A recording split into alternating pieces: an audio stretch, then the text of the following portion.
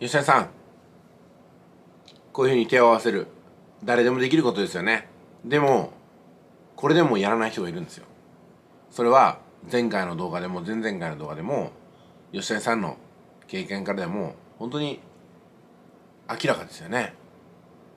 例えば動画の中で本を紹介します。むちゃくちゃいい本ですよっていうふうに紹介するんですよ。でもその本を買う買わないやともかく検索してみる。あこんな本あるんだっていうふうに気持ちが変わる人とね実際実際に検索して行動する人ともっと言ったら実際に本を取り寄せてね買って読んでみる人、ね、全員じゃないですよね。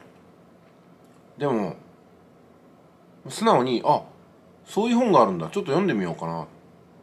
ね数百円から1,000円か2,000円ぐらいですよね。そういう小さな行動ができない人に一体何ができるんだろうなっていうことなんですよね。前回私が手を合わせる合わせないっていう動画を撮りましたよね。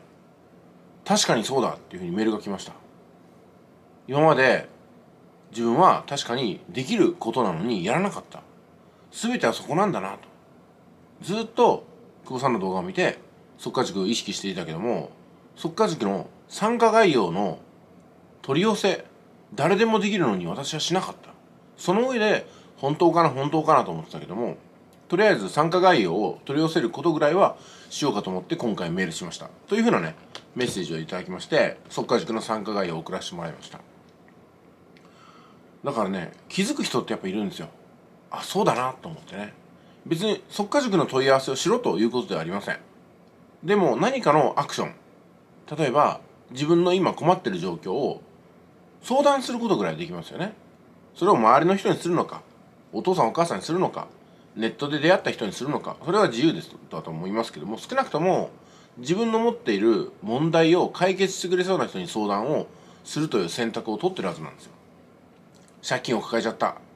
ちょっと親父に借金の肩代わりお願いしようかみたいなふうに頼む人もいるかもしれませんし自力で稼ぐために稼ぐ塾のノウハウを持ってる人とか借金から復活した人にちょっととりあえず話聞いてもらおうかなっていうふうに進むのもありかもしれません。ね、できることをまずやらない人にできないことへの挑戦権は出てこないと思うんですよね。できることもやらずにできないことにうつを抜かすのはこれをまあ妄想とかねたわごとっていうわけですよ。できることをしっかりやってその上でできないことへ手を伸ばそうとするのを挑戦というんですよね。この違いがおそらく違いをもたらしてるんではないかなと思いますけどもいかがでしょうか？いってらっしゃい。